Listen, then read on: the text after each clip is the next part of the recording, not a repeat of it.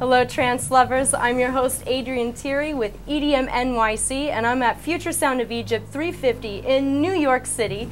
With me is Max Graham, who's playing tonight. Let's get right into it. Perfect. When did you know that Future Sound of Egypt 350 was coming to New York City? When my agent called me and said, You're playing Future Sound of Egypt, New York City. What did you think about them coming to New York City? Well, it makes perfect sense. I mean, it's one of the biggest dance music markets in the world. Um, by far. I mean, it, it, it, leads to a little bit of complacency on the part of New Yorkers because they do have it really good. but everybody comes through here and everybody treats New York like a huge stop on any tour. Was New York City selected simply because it's New York City and it's exceptional, or is it because there's an overall trance market growing in the U.S.? I think a bit of both. I mean, it, it's always going to be New York and it's going to be exceptional. And it's, it's like, for me, my open to close sets, the flagship show is New York not because it's New York, but because I've developed that connection with the city. So I would have really have to ask Fila if he feels that it's because trance is so strong here, or because it's New York and it's like if you're going to pick six or seven cities to go to, New York's going to be one of them. You know, mm-hmm. but I think it, it works both ways. I think it is an exceptional city, especially for for events. I mean, look what we have like two and a half thousand people here tonight mm-hmm. you know, in a beautiful old theater type venue. Like you can't find that everywhere. But also, I think the trance scene is very strong here, so it works both ways. I think. If you were to describe New York City as a personality, would it be a he or she? And what would that personality be like? It's such a crazy city. I mean, I lived here in elementary school.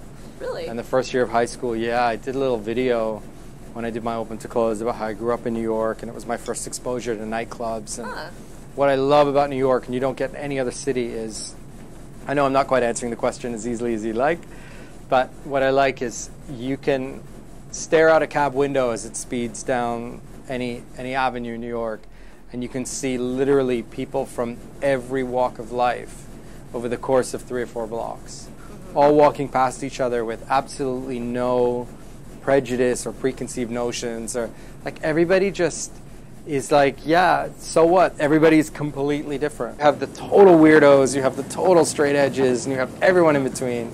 That's what's so cool is they're all shopping at the same delis, buying the same bagels, getting the same coffee, and everyone is just like, that's New York. That's what makes it so cool. It feels like there's a total acceptance. Where do you fit in on that personality scale? If you were to describe yourself to someone who didn't know you at all, how would you describe yourself? Um, I'm very Aries.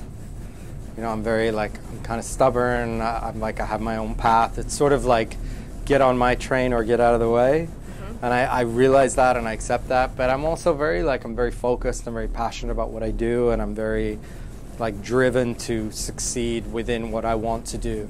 You know, I gave up DJing once, and then I sort of snapped out of it and came back, and mm-hmm. now I've been stronger than ever because I have that motivation to really like reach where I want to go and I think that's my personality is to be very driven, very focused, very organized. And it wasn't I wasn't always like that, but as I've gotten older, I've definitely become that. You do have a, a unique story in that you were in the business, you left it for a little while, and then you came back. What made you decide to exit the business? Well, I was frustrated with myself and the industry. I was with management at the time who were I mean, I confused them, so it really comes down on me. But I was trying to make music to fit into a scene that I wasn't really part of. Like I was, I was listening. Okay, what's popular? I need to make that. Like I need to, you know, further my career. And I wasn't just saying, you know what, I want to make what what moves me as an artist. I was saying like I, I need to make music that's going to hit the charts. I need to make mm-hmm. music that's going to get what's me gigs. And and then I found myself like, you know, uh, auditioning guitarists for like you just it was so the wrong thing for me. And my agent at the time or my management at the time was sort of like yeah you need to go more commercial. We need to look at like radio one and Pete Tong and you need to get on those shows and you need to be like these other djs and it was completely the wrong move for me. Mm-hmm. so i just said like i need a, a total reset. I need a total mm-hmm. reboot.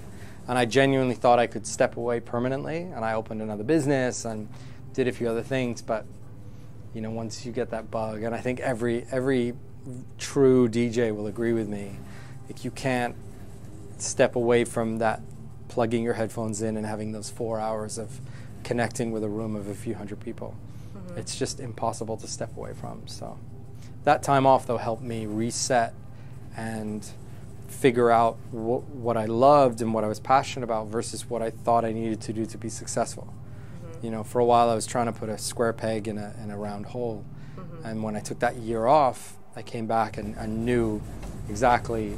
I put all, the, aligned all the stars and got to work. And now here we are. What did you do for that year? That year I opened an Apple store. Um, it's, it's, a very small store. It's not like a big Apple store like you would have in most cities. Mm-hmm. It's an Apple service provider, which we would um, service and sell Apple products for local customers. Maybe someone else would say, like, oh, you know, why would you open an Apple store? You don't have any business experience. But the truth is, you did, because when you're a DJ and a producer, you are a business of one and you are an entrepreneur. So, what tools from DJing and producing really helped you when you opened and ran that Apple store? I think marketing and self promotion, I mean, is a big part of being an artist, especially now with social media. Like, you really have to be a self promoter nonstop. Um, and so adapting that to a business wasn't that hard. Sort of, you know, it wasn't about me, it was about the company, but I still knew how to sell the product and, and sell the business. I my partner was good with like retail and dealing with customers. And that was something I wasn't good at because I had never had to deal with having to deal with a customer who was, you know, in a bad mood, who you have to be nice to, and all that stuff. I was like, what? Customer's always right. This is, she's not right, you know? But he's like, so I would work in the back, he would work in the front. So it was a little bit of a learning curve as far as that goes. But um, organizing and, and you know, organizing the back end of the store, like how things ran, was my forte, and that comes from you know when you travel, you're dealing with flights and hotels and gigs and itineraries and you know tech riders and all that becomes very easy. And I'm very hands-on. I book all my own travel, yeah. which a, a, lot of DJs don't. But I I'm obsessed with the madness of the airline industry and how just it makes no sense. So I book all my own flights because I love like finding the best routes and flying the airlines I like. So that kind of thing, like finding suppliers for the store and you know cutting our costs and all that stuff was was my forte. You like to do research? Yeah, I like to do research. I like to do stats. I like to do spreadsheets. As crazy as that sounds, yeah, like I, I live when I'm on the plane, I live in a spreadsheet with all my gigs, all my flights, all my like, you know, commission to my agent, taxes, all that stuff. I like wow. it it's a bit it's a bit weird that it matches with my artist brain, but I think I've forced myself to learn it because I think it's an important part of being a self-sufficient, you know, entrepreneur, as you said. Would you describe yourself as an introvert? I'm not very social when I don't have to be. I definitely like to recharge on my own, quiet. You know, like when I'm home, I will stay home for two weeks, work in the studio. I won't go out for drinks with friends. Like, I've to, you know, I'm gonna, my friends are gonna kill me, but I've actually gone home and not told my friends that I'm home. I've gone home for a week and then flown back out, and they thought I was away the whole time. Because I just want to like be home alone and get my work done and work on music. So you so like I'm, to I'm, spend time with yourself. I, I, stay home a lot. Like I don't uh. like going out and being social, but when I am out, I'm not the quiet guy in the corner. I'm definitely happy to be like talking to everybody and very social. I'm always joking and laughing with my friends. So Finish the following sentence. What the trance scene really needs right now is a reboot. I think it needs a fresh perspective from all the artists involved. I think that it's kind of a, a lot of guys have moved over to a mainstream kind of EDM big room sound, mm-hmm. and they're trying to pull the trance label over to that mm-hmm. to help themselves to help you know basically if they can say okay trance is now this then they're still playing trance they don't want to admit that they're not playing trance, they're now playing commercial EDM big room. And then you have the 140 guys, which I would say are like Aly Fila, mm-hmm. John O'Callaghan, who are kind of over here. There's a lot of great energy. Bryan Kearney, Carney, sorry, I always say Kearney, and everyone's like, it's Carney. Carney. Um, you know, those guys have a lot of good energy going on, but then you have a whole group that have kind of moved on to electro and big room, and it's a bit disjointed. And I think it needs a sort of regroup and a reboot with a new, a whole new sort of energy behind it. And then it will always be there. Mel- melody will always be king, but it needs kind of a new energy behind it. I think it's a bit lost at the moment. What's the one thing that you just wish the general public would understand about trance? I think what frustrates me the most is two parts. They complain when you don't change, and they complain when you change. Uh, And I think they need to understand that artists need to keep moving forward. We can't do the same thing over and over because I mean, we would blow our heads off. Like it would just be so boring to make the same music for 10 years. yeah. And they need to accept that it's going to change no matter what. Mm-hmm. And not hold artists like artists have to understand that if they're going to profit off an emotional connection, they have to deal with people being upset when they move on to another sound. Mm-hmm. But the fans have to realize that the artists are free to move on to another sound. They just have to stop supporting them with their wallet, with their social media, with their mou- you know, with their word of mouth. But you can't hold it against someone for changing. Yeah. And some guys change for the money because, you know, when you're 20, you can be an artist and not care.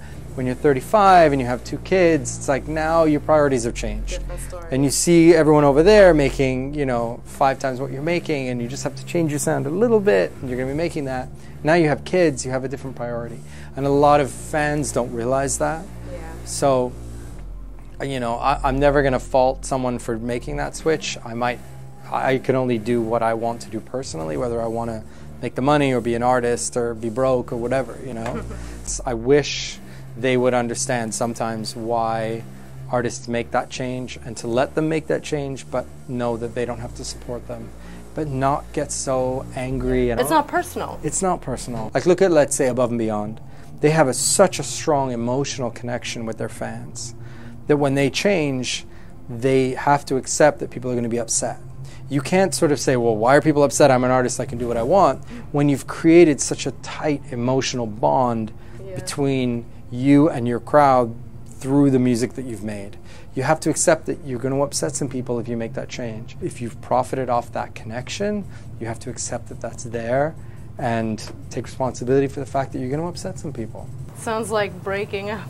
it, it, honestly, it is. It's a really strange thing when you connect with people through the music that you make and then you change the style and they get upset and it's, it's a constant ebb and flow and we're seeing it all the time Yeah. especially now as trance is changing you have a lot of guys who are moving to a different sound and a lot of people are upset and a lot of you know there's a lot of negativity which makes more people want to leave which is also frustrating because you see a lot of fans getting super pissed and it's like Yeah. you know love the ones who stay don't get angry with the ones who leave and then that's the better move but they, instead they spend all their energy getting angry with the ones who leave and it makes the ones who stayed go well why am i even staying? Get sour you know everyone's all so negative. So it's That's that's, why i think it needs a, a big reboot. It needs kind of everyone to step back and come back strong. My last question is let's say you have a time machine. Doc Brown comes with his car from Back to the Future and you get this time machine, but you can only go back into the past and yourself when you are just starting out your DJ Yeah. career and you can only have 10 seconds with yourself and give yourself one piece of advice. What do you tell yourself? probably stick to one style of music. I'm too diverse for my own good. I'm kind of all over the place as an artist, but as a businessman, I know it would have been a better move to stay with one style and grow with one scene. Mm-hmm. You know, you have Richie's techno, Armin's trance, you know, and you have like these different, you know, Skrillex's dubstep. And I was kind of all over the place, and it leads to you not really fitting in. uh, You know, you have a, a, a few fans from each group, so my artist brain doesn't like that, but my businessman brain would say stick to one style and, and really sell that. It's like a friend to everyone is a friend to no one, you know? That's kind of been my career a little bit, and that's why now I feel like after 15 years, finally, like I feel like everything is aligned. Max, thanks so much for taking the time to do this. Thank you so much It's for having me.